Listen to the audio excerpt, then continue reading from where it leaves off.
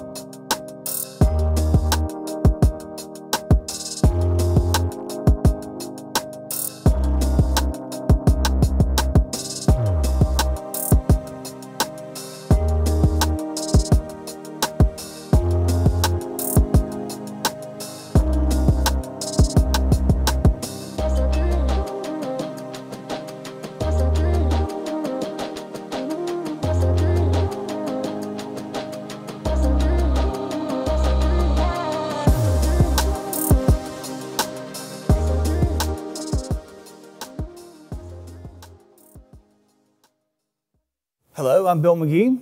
And I'm Joanna Tiagarajan. We are your co chairs for this evening's online gala and auction, The Art of Nature, Thank you so much for joining us. and for supporting the Washington Park Arboretum. Enjoy the art of nature. Good evening. I'm Jenny Wyatt, President of the Arboretum Foundation Board. Welcome to our celebration of the art of nature. We acknowledge that the City of Seattle and its green spaces are on traditional lands of the Coast Salish people. We recognize their stewardship of this land since time immemorial and take this opportunity to thank the original caretakers, past and present, of this land.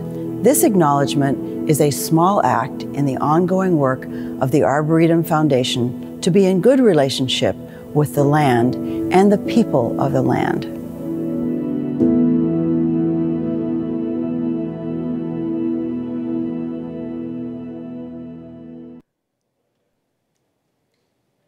Well, good evening and welcome to the Arboretum Foundation's 2022 Gala and Auction, The Art of Nature. I am Angela Poe Russell from King 5 Evening and a proud member of the Washington Park Arboretum Fan Club. And I'm Jane Stonecipher, Executive Director of the Arboretum Foundation. We're so happy to have all of you here with us tonight as we come together to support the Arboretum and the Seattle Japanese Garden. All right, so how about those berets that Joanna and Bill were wearing? They're very artsy, yeah? It looks like we're in for a fun evening. You know, I've heard a rumor that we'll be having some special guests. Absolutely, and uh, some of our homegrown Arboretum celebrities, too. Okay, well, before we jump into things, this is a good time to just take care of some housekeeping. First, we want to assure you that all COVID precautions were taken in the creation of tonight's program.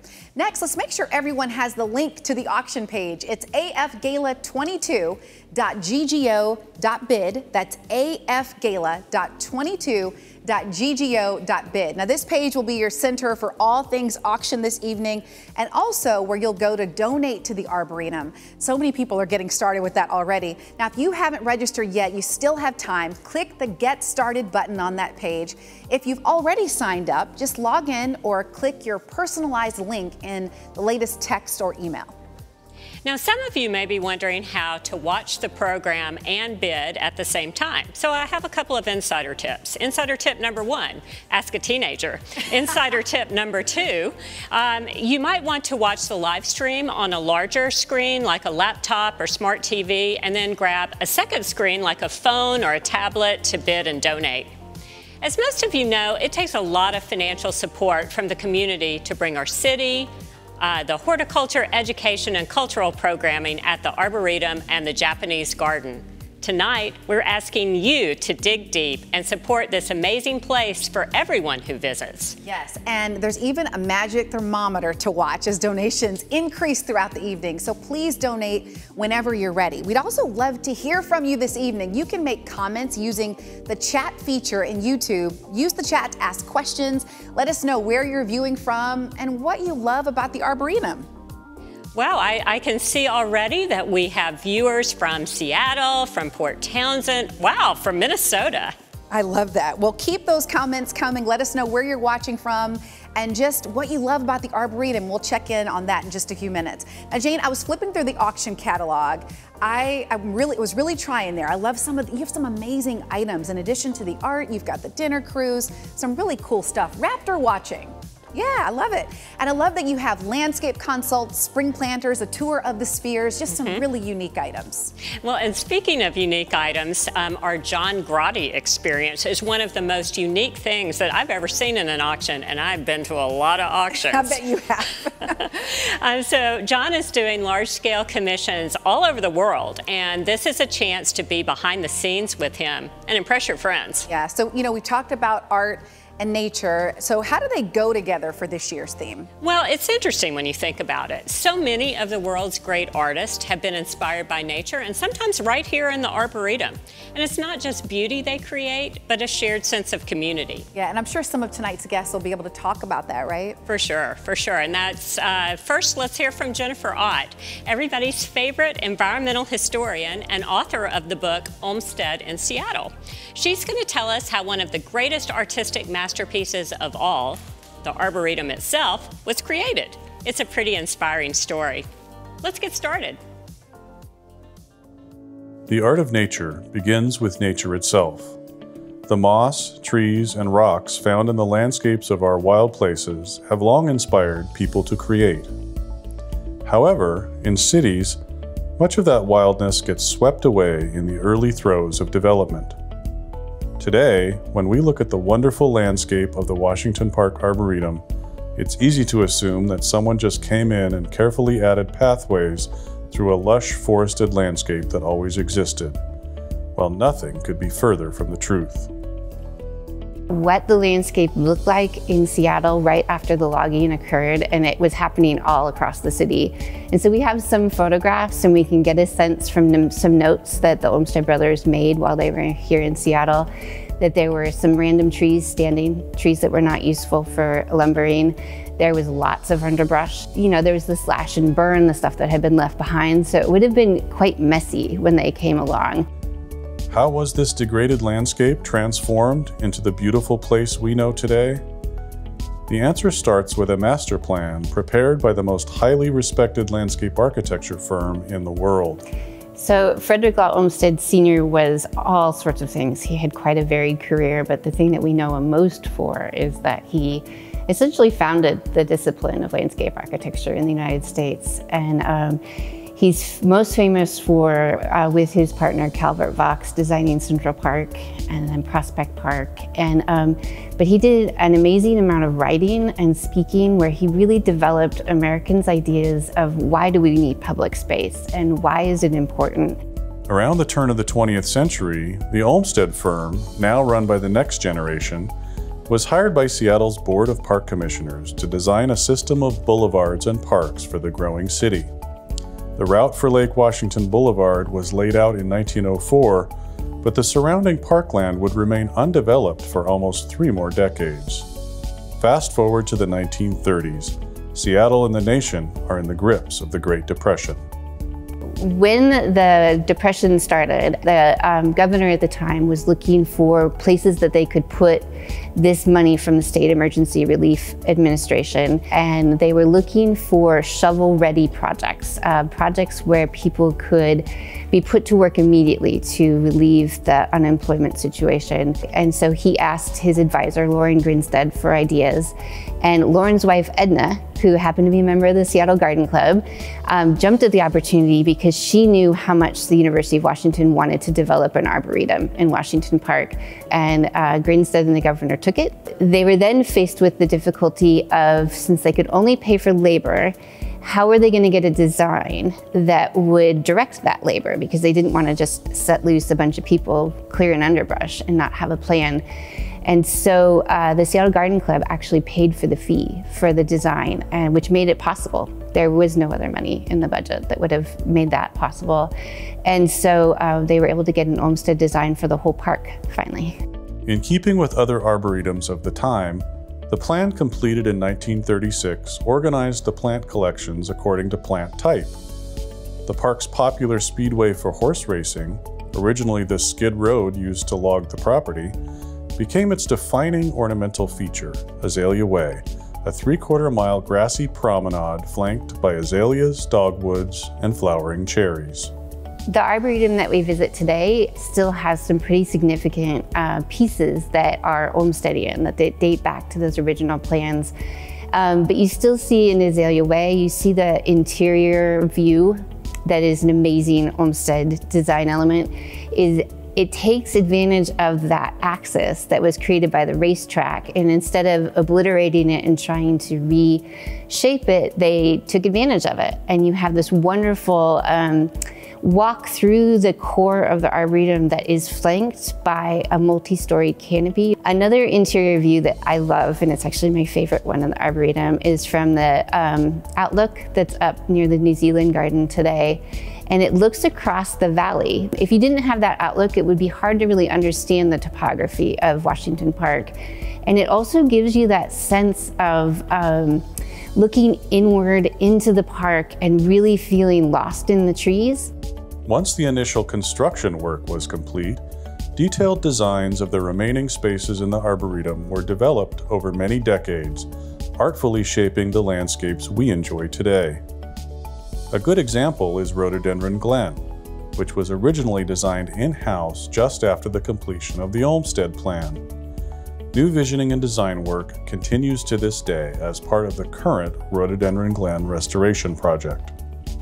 The planting process in the Upper Glen um, is interesting because first I paid a lot of attention to gardens that I've seen that have this kind of uh, woodland character, heavily featured with rhododendrons, such as the Rhododendron Species Foundation, Heronswood Garden, and the Elizabeth Miller Garden. I talked to members of each of those gardens just to figure out the conditions in which rhododendrons and companion plants might do best within this arboretum setting. And then I've also really paid a lot of attention over the years to combining textures, uh, colors, shapes, because with rhododendrons, superficially, they can look somewhat similar. And so, and they're not in bloom for very long individually. So it's really important to have that combination of layers, textures, leaf shapes, and different seasons of interest. I think as rhododendron glen develops, you know, in five to 10 years, you're gonna see a much more layered planting. You're gonna see a lot of uh, really exciting plants, bold foliage, uh, interesting textures, bark, colors, something that really catches the eye and merits repeat viewing throughout the year. The Washington Park Arboretum is much more than a city park. It is also a world class botanic garden and outdoor classroom and the official state arboretum of Washington. It's a 230 acre living museum. No, not that kind of a museum, a living museum of plants and trees. We have more than 40,000 different plants from 98 countries around the world here. That's plants from six out of the seven continents except Antarctica, because, well, only penguins grow there.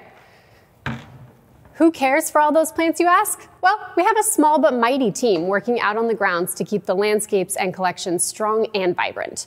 Two of that team are the arborists, and like the Lorax, they speak for the trees. These folks monitor and care for our trees to keep the collection healthy, beautiful, and safe for visitors from all around the world to enjoy. Your donations make it possible for us to maintain the collection and support our local Loraxes, the arborists, in their important work. So donate now. Click the donate button on your device to support the Arboretum. Thank you.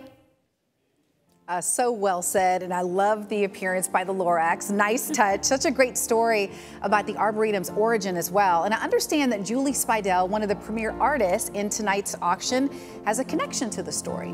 Yes, so Julie's grandparents helped advocate for the original WPA funding back in the 1930s that allowed the construction to begin and she created a beautiful painting for tonight's event in their honor. Yeah, I've seen Julie's work and I love this piece. It is called Delvin, named for the 15th century Irish castle that inspired it. Take a look at that.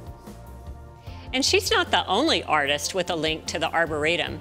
Barbara Earl Thomas has also shared a piece called Man Cleaning His Fish. Barbara's father worked for the Parks Department and spent part of his career at the Japanese Garden. Uh, we have some other wonderful art in the auction as well. Uh, we appreciate all the artists who are supporting us this evening and hope you'll check out their work. Okay, speaking of the auction, I spy a special guest who might have some insider tips for us. So let's welcome gardening guru and TV personality, Cisco Morris. Hi there, Cisco. Hey, hi, you two. It's so great to be here. It's just more fun than I can describe. But there are a lot of things left to bid on. And I just heard that there's one spot left on my Kathy Freeze tour. So I want that thing filled up within the next 12 seconds, okay? hey, so what are some of the really fun ones that are out there? How about the New York experience? So, have you been to the Big Apple? Is there anywhere more fun? You get your airfare, you stay in a really fancy hotel, you get free passes to the Brooklyn Botanical Garden, and then while you're there, you go to Times Square, see yourself on that gigantic screen out there. You go to Little Italy and have the best dinner you've ever had in your whole life. It is just the most fun. You better go to a play while you're there too. And then, how about this one? The uh, botanical and gastronomical uh, superior of Bainbridge Island. So you get to go to Bloedel Reserve and get a private tour by my buddy and the head honcho, Ed. Uh, uh, well, Ed, anyway. Sorry, Ed. Ed, uh, Ed Mo- Moyel. And also, you get a really great dinner from Heyday Farm to Table, which is, I've had friends say it's the best dinner you'll ever have. I'm sure there'll be a lot of Brussels sprouts on that one. Oh, I love Cisco. Thank you so much, Cisco. I, I tell you, a tremendous job. You get that tremendous? I love that was bad. I'm trying. Um, you know? I'm already seeing. So, one spot left on the tour that Cisco talked about. And I understand there's a bidding war on the Julie Speidel piece.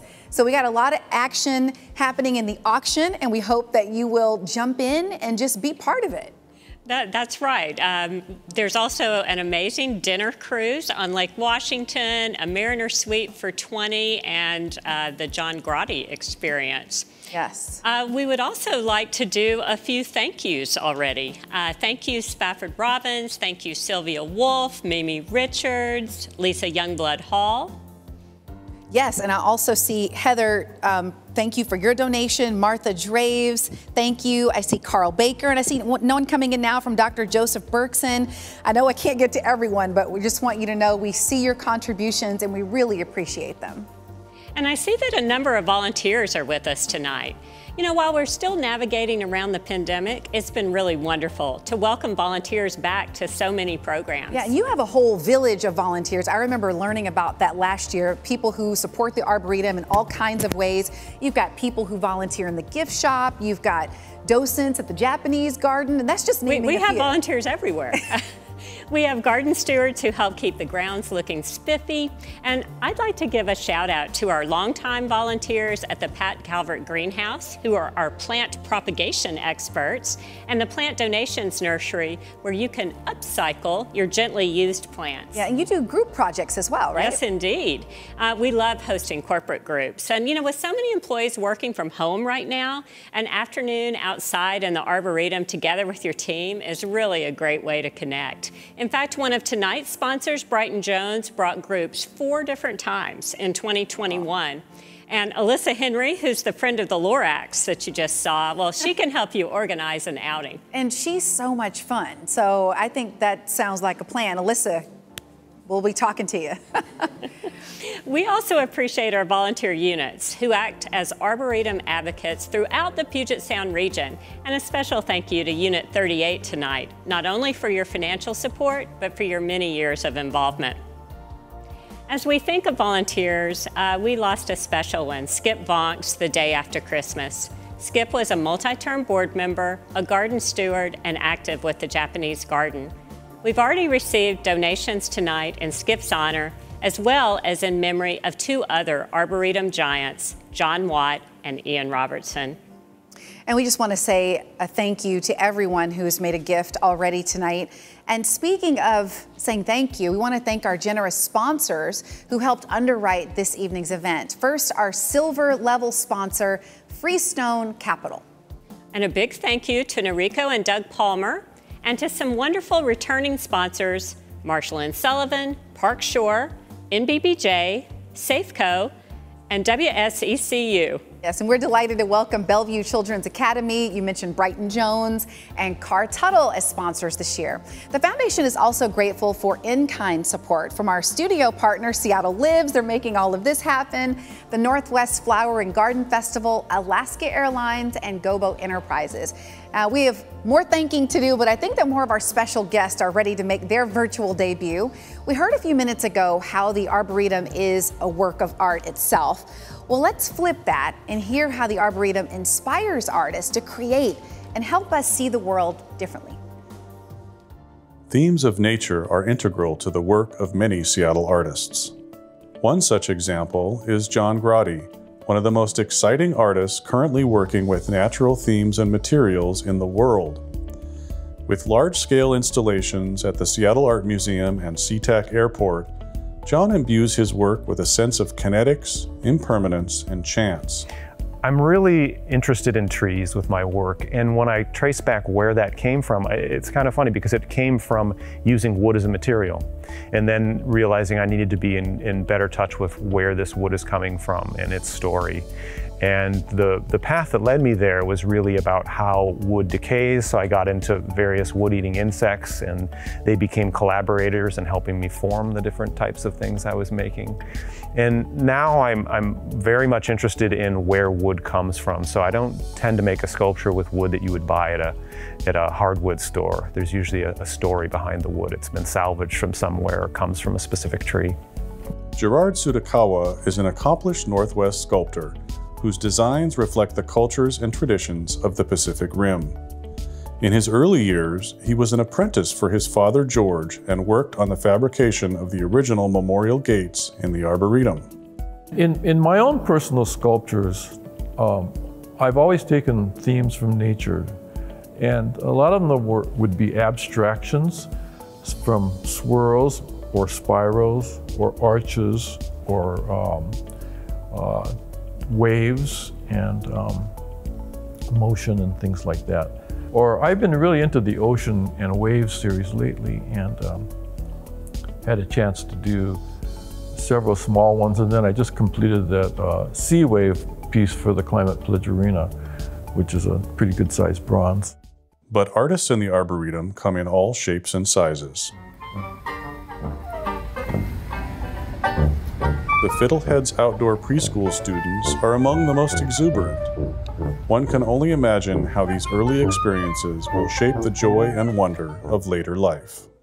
One of my early memories, um, and this relates to the Arboretum, was being in a canoe um, with my family and um, on the South Shore. Um, and, and, looking at the, the Arboretum landscape in that, that area and just being um, really taken with the idea that I could, I could sort of be at this low level, this, this sort of perspective on the landscape of the water. My father in particular really enjoyed the mountains, you know, painting, sumi painting and camping. And we'd be driving through the mountains and he'd tell my mother to pull over because he was looking at the mountains and she was driving and uh, he'd pull out his painting, painting gear and just start sketching away and painting. And he was very fast, so you know, he could do a, you know, a nice painting in, in, in maybe 10, 15 minutes. And then uh, at the ocean, it was the same thing. Or at the beach at Hood Canal, you know, we have so many uh, paintings of the trees and the mountains. Both of these artists will be working on major installations for the Arboretum in the coming months. Later this evening, you'll hear more about the replacement of the beloved Tsutakawa gates. Meanwhile, we have begun to discuss an exciting project with John Grade right here in the Arboretum. So I'm hoping to make a piece for the Arboretum in Seattle, and it, for me, it's a really compelling idea because it's home ground. It's it's a kind of a baseline for me. I, over the past uh, couple of years, I've been starting to work on projects um, in other sculpture parks or gardens or arboretum. So most recently for Kew Gardens, that's one we're, we're doing this this summer. And it's, it's interesting when I go to a place like Kew Gardens and I look at certain things that are going on there, my baseline is coming back to the Arboretum in Seattle. So when I see a Chilean forest in the UK, I think, oh yeah, I can do that in Seattle as well. And then how can I kind of look at some of that project my own history of growing up in that environment intermittently. And it just seems like potential for a really rich project. I'm drawn to a number of different specific groves in the in the arboretum, and I, I sort of what I like about the idea of engaging just a specific number of, a smaller number of trees is that it helps me define a sense of scale. I mean, it's a very large place, the Arboretum. So it'll be interesting to, to sort of move through the grounds. One of the things that we're doing in exploring this is my whole team and I are gonna come and tour the gardens with a bunch of the team from the gardens and talk about what's happening there, what's the history. And for me, when I get a lot of different people and, and their input, it's gonna be potentially much more interesting as a project. The Arboretum Foundation provides important funding for the University of Washington Botanic Gardens education programs at the Arboretum. The program connects children and adults to nature and teaches them about the vital role that plants, forests, and wetlands play in our environment. One of the ways we teach kids about nature is through art. At the Fiddleheads Forest School summer session, art materials are left available for the students all day for free art exploration. They are encouraged to practice their letters while creating scenes from the nature they see around them.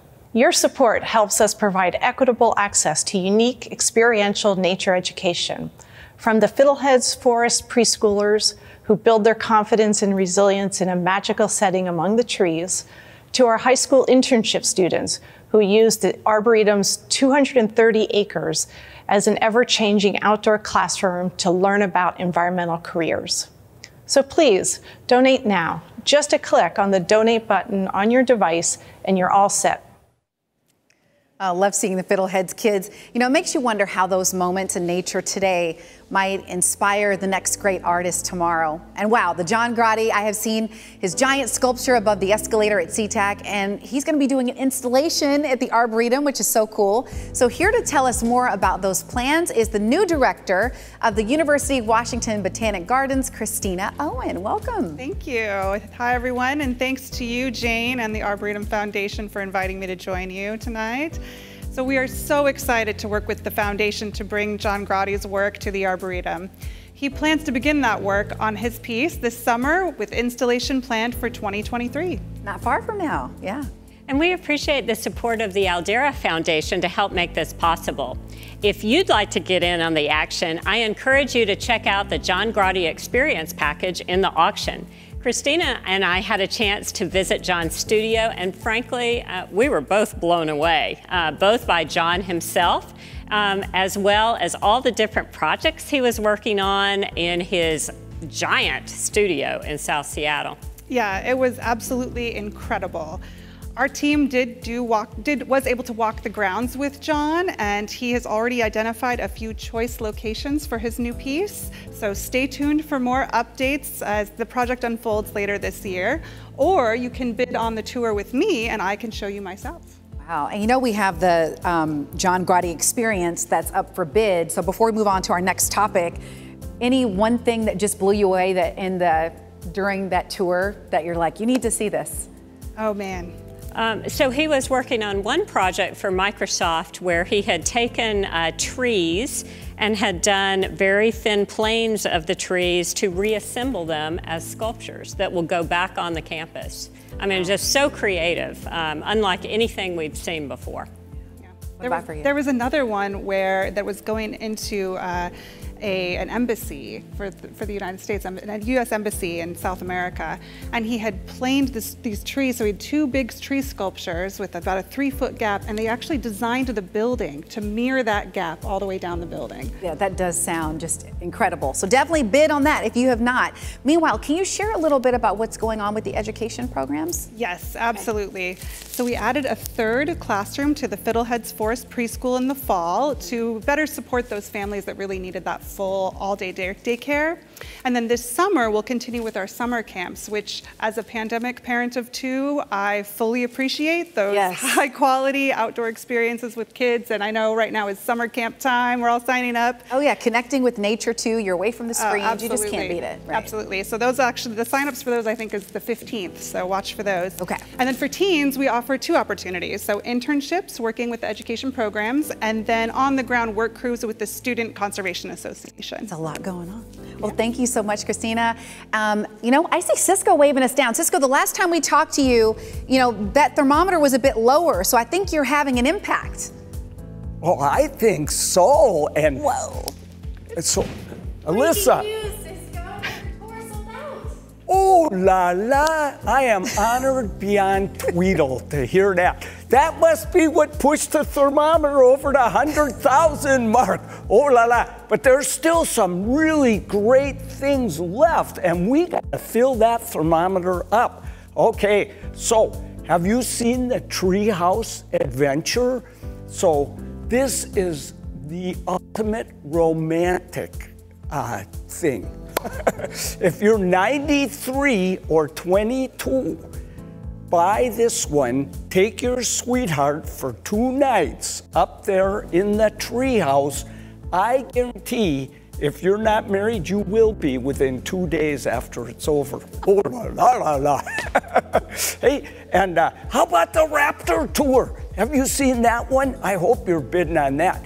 I used to work on the North Cascade Highway. I worked in the town of Newhalem as a gardener, and I hiked all the time up on the Skagit River, and that is the area that many people believe is why the eagles recovered so well in this country. You are going to see so many eagles, see so many hawks, you might see owls.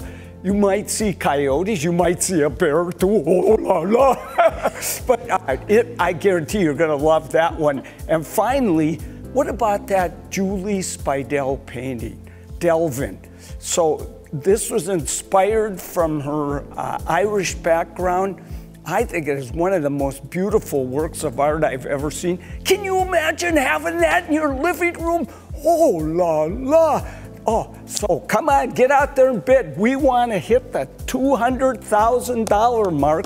And now that you can't bid on my tour, it's going to be a little harder to do, but you could do it.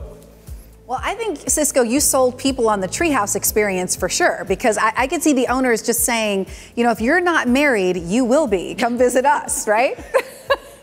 So yes, lots of bidding going on. Nice to know we have Cisco there at the thermometer. Very encouraged by the direction in which we're moving. Visit the donate page now. Even if you've been there once, go there again or just Take another swing at bidding on something. Go to Greater Giving to make your gift. Who might consider a gift of $10,000 or above? We're going to start uh, at that level. Thank you, Larry Hubble and Shelly Butler, for starting us off at $10,000. Oh, Thank you. Getting Cisco riled up. I love it. so, are you wondering how your gifts tonight will be used? So, remember that our Arboretum is one of the few in the country with no fence and no admission charge. Um, I love what our friend Swill Canum said last year that we are keeping the spirit of the trees alive in our lives. So your gifts support our arborists who monitor and care for the sequoias, the maples, and my favorite, the magnolias. and of course, the education programs that Christina told us about. Yes, you know, as you make your gifts this evening, please consider a donation of $5,000. And we already have some people who have jumped in at that level. Uh, John and Carol Herster, thank you so much for your $6,000 gift. Mike Riley and Robin Shapiro gave a gift of $5,000. Thank you. And from Steve Alley and Amy Scott, thank you for your $7,500 contribution a lot going on. Well, and we have so many um, that have just come in here in the last few minutes. So uh, Kent and Sandy Carlson, Sean Corey, Elaine Springer, Sharon Nelson, Martha Draves, Adam Weintraub. Yes, I see Barbara Larson, uh, Carl Baker, Ray Larson, Ashley Clark, Carolyn Kachel, Nanette Richards. Thank you so much. Um, and I'd also like to thank Yuka Shimizu for her generous support. Yuka underwrote the Paul Chihara world premiere at last summer's garden party and has stepped up once again this evening. Thank you, Yuka. You know, there's so many different ways that the community steps up to support the Arboretum. You can just get in on so many different levels. And those Tsutakawa gates, I mean, something happened there, right? It's quite a story. Yeah. Um, so it was just as we were trying to adjust to the very first stage of the COVID crisis right. in March of 2020 and we got another shock that morning. So let's hear more about that now.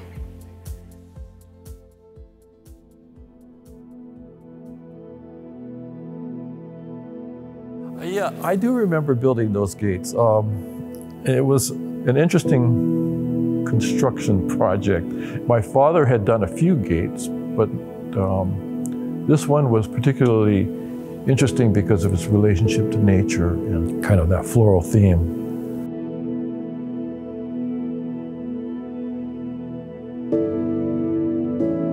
I got to work that day, and my coworker came out uh, and told me that the Tsutakawa gates had been stolen, and I just I couldn't believe it. And so I ran over and I looked at them, and I just burst into tears. It was just so heart wrenching. Uh, Amanda from the city uh, parks crew was first on site and uh, sent us all a message pretty early what that they were gone.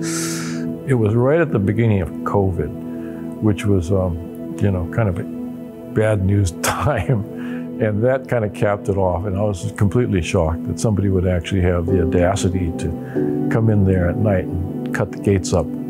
It had already been a tough week, filled with the uncertainties of the early days of the pandemic.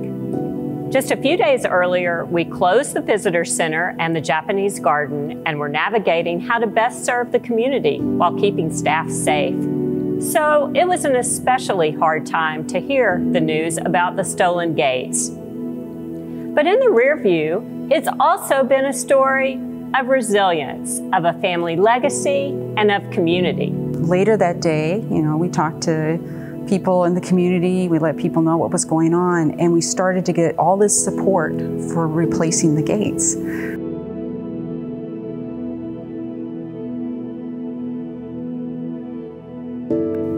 My father had a strong affinity for the Arboretum, the University of Washington, and nature. And I'm sure that he was very, would have been very upset to see the gates destroyed. And I'm extremely happy to see that uh, that connection is being rebuilt again.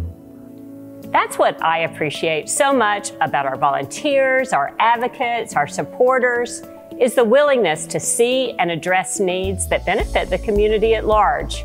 I think the most important reason to support the Arboretum is that we've already invested in it as a community.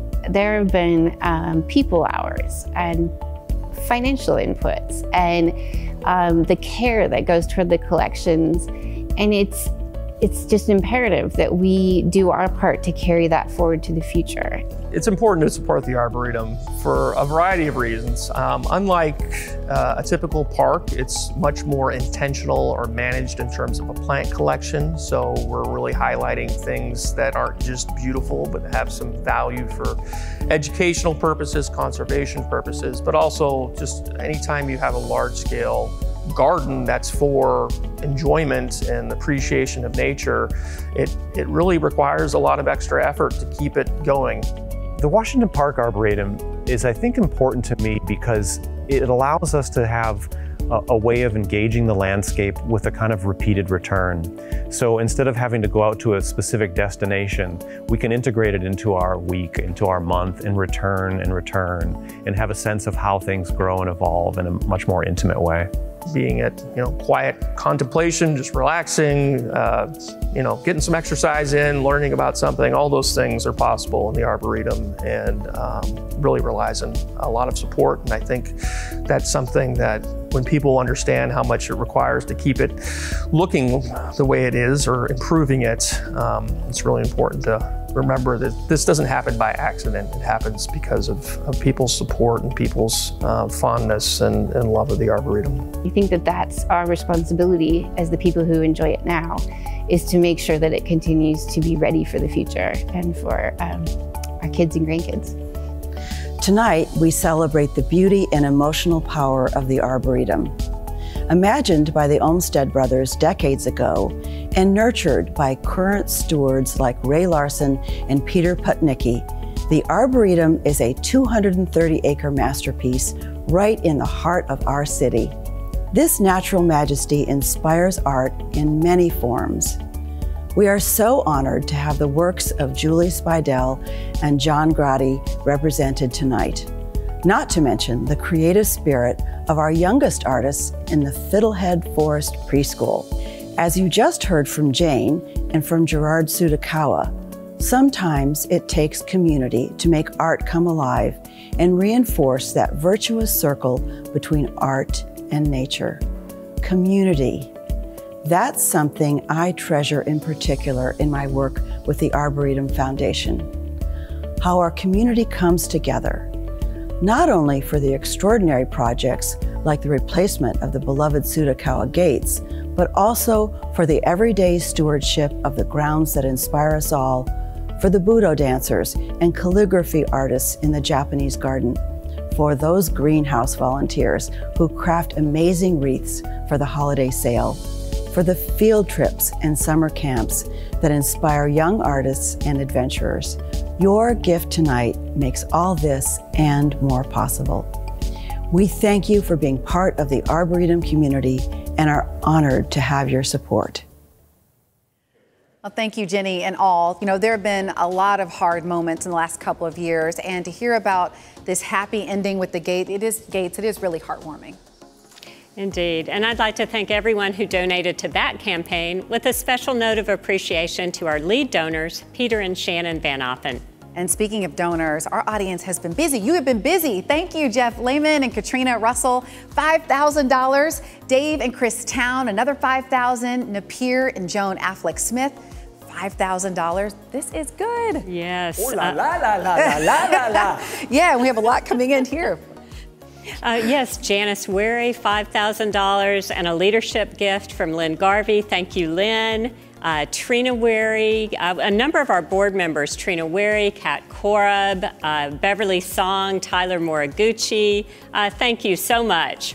Um, lovely contributions from both of our co-chairs. Thank you, Bill McGee and Lee Heck, 2,500. Joanna and Krishna Tiagarajan, 2,500. And thanks to Scott and board chair Jenny Wyatt for their $4,000 contribution. Yes, every gift makes a difference, a gift of any size, as we just work to make the Arboretum welcoming and accessible for everyone in the community. $50 helps with garden gloves for the stewards. $500 supports outreach for lower income students.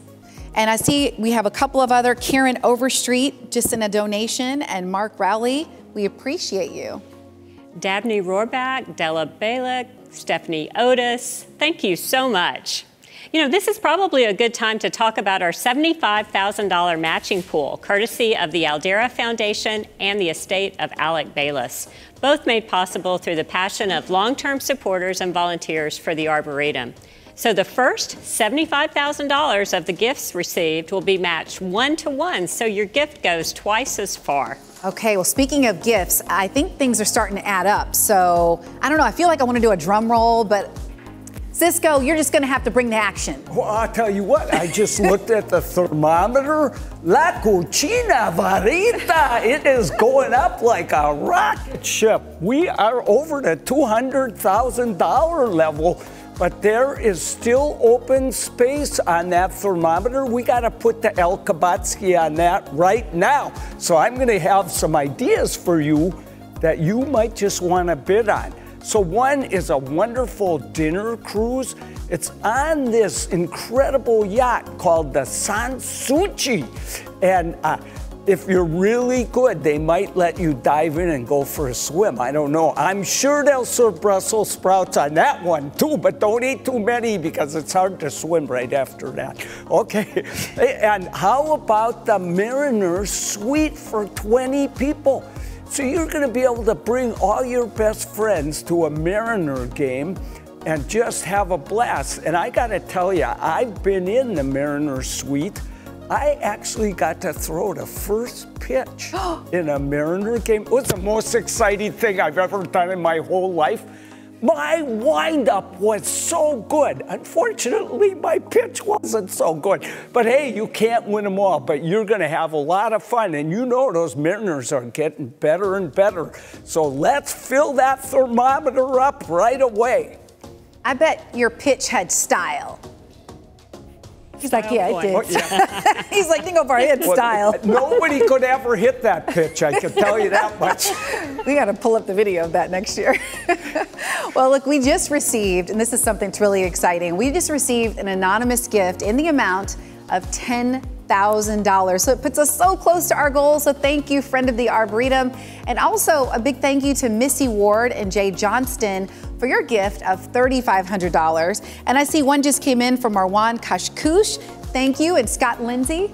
Carol Ravano and Michael Cheever. Uh, a portion of the gifts received this evening will support cultural programs at the Seattle Japanese Garden. So the garden reopens for the season on March 1st.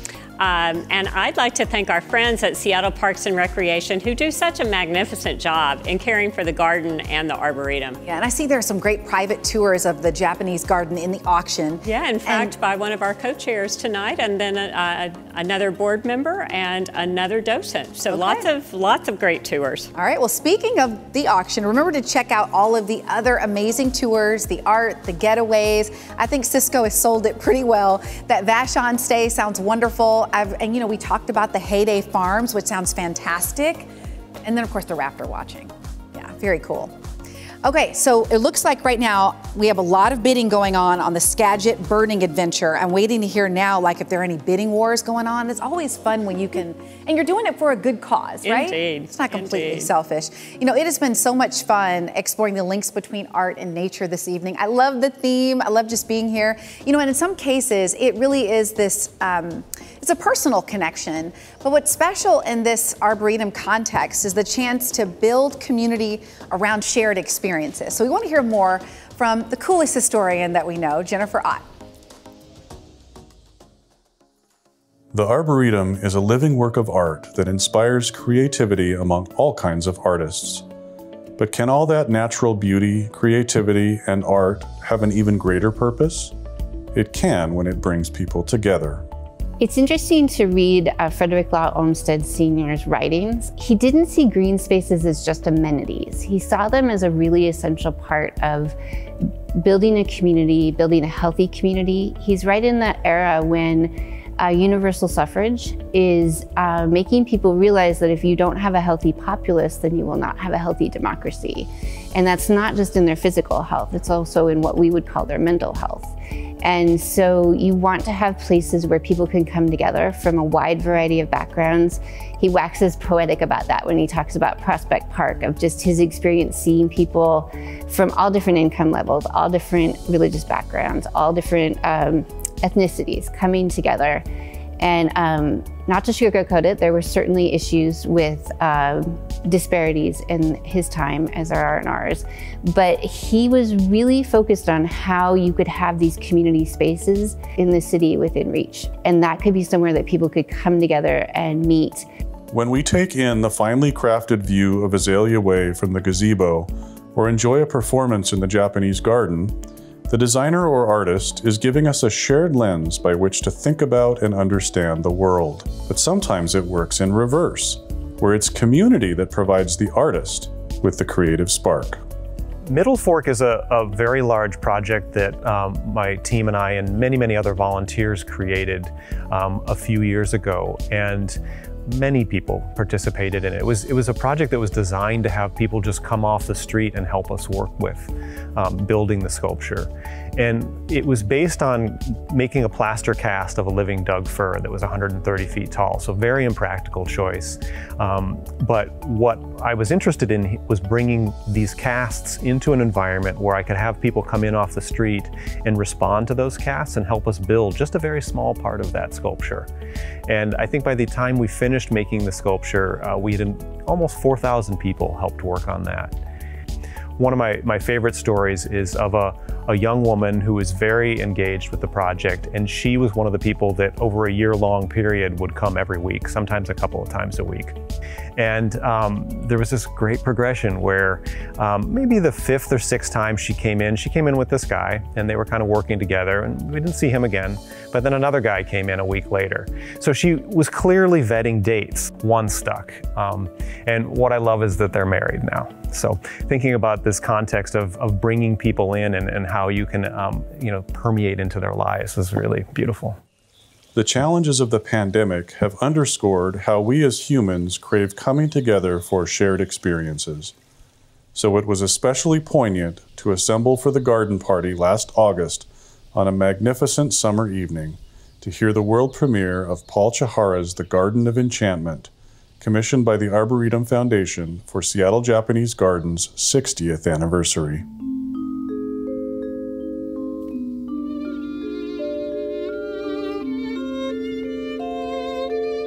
Mr. Chihara wrote this piece as a love letter to his parents, tracing his childhood, the hardships of internment, and later a career full of Hollywood film scores and world class orchestra debuts. And he shared all of it through a beautiful piece of music played in a dreamy, magical garden.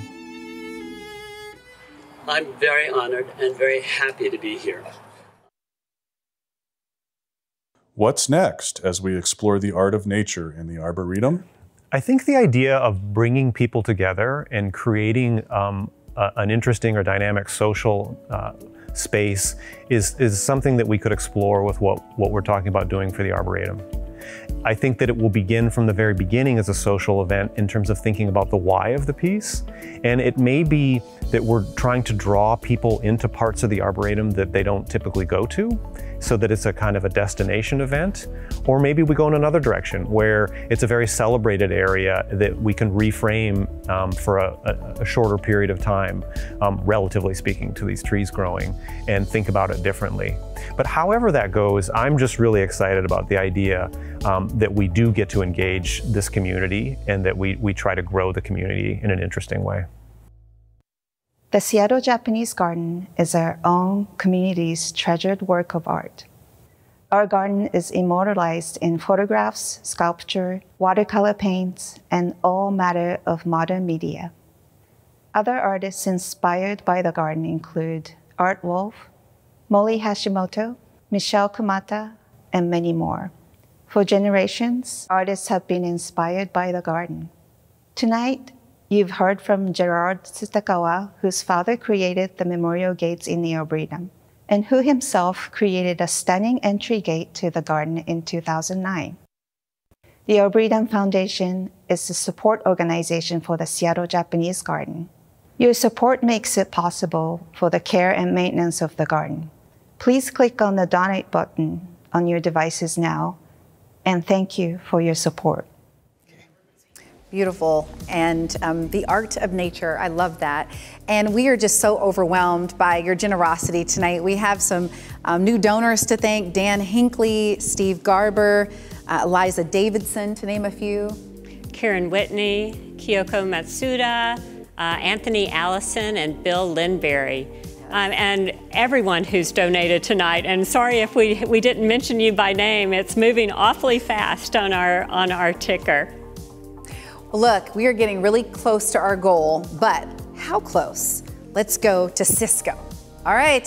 Oh la la la la la la. We have we are almost to the top. I am so excited. I'm excited beyond Tweedle. But there's eight minutes left, so keep bidding. We gotta fill that thermometer up right away. All right, our goal $250,000 tonight. And just, oh my gosh, see, it's going up. So, Cisco, maybe we just stay on you and have you just do this. This would be. Cisco is so ready for it. So, uh, we will keep the donation link open through Friday morning. So, if you didn't give, you want to give again, or you have a friend who wants to get in the action, there's still an opportunity. But I will say that the auction is going to close promptly at 7 o'clock. So if there's items that you're watching, um, now is probably a good time to be thinking about your final strategy. Yes, you got about eight minutes left, and then we're just about 7,000 or so dollars away from our goal. So jump in, be the hero tonight. It really is a community effort when it comes to supporting the Arboretum. Thanks again to this evening's sponsors. And kudos to Bill and Joanna, our magnificent co-chairs for tonight's event the Arboretum Foundation board and staff who brought all of this together, everyone who donated to the auction, our video guest stars, and especially to you, the supporters that make this work possible. All right, it looks like it's time, as you mentioned, the final countdown for the auction. Don't miss out on your favorite item. So many of them are just one of a kind items, pieces of art, um, works of art, I should say, and just experiences you can't replicate. So it has been tremendous being with you. I hope to see you at the dedication of the new gates. Absolutely. Looking forward to that. I've definitely have renewed my super fan status, and I'm going to pitch to my evening cohorts, Jim, Kim, and Saint that we come on down and but you got to find us something that we won't ruin or mess up. Like is there a group project that we can just We'll, we'll, we'll get you the beginner group project. Okay. Okay. Um, and I think that uh, I think as Cisco we, wants to go maybe Yeah, I, I think I think Cisco should deliver this news. well, hey, this has been the most tremendous time I've ever had in my life. And I want to thank all you gardening cats and gators for making our Arboretum the best one in the world.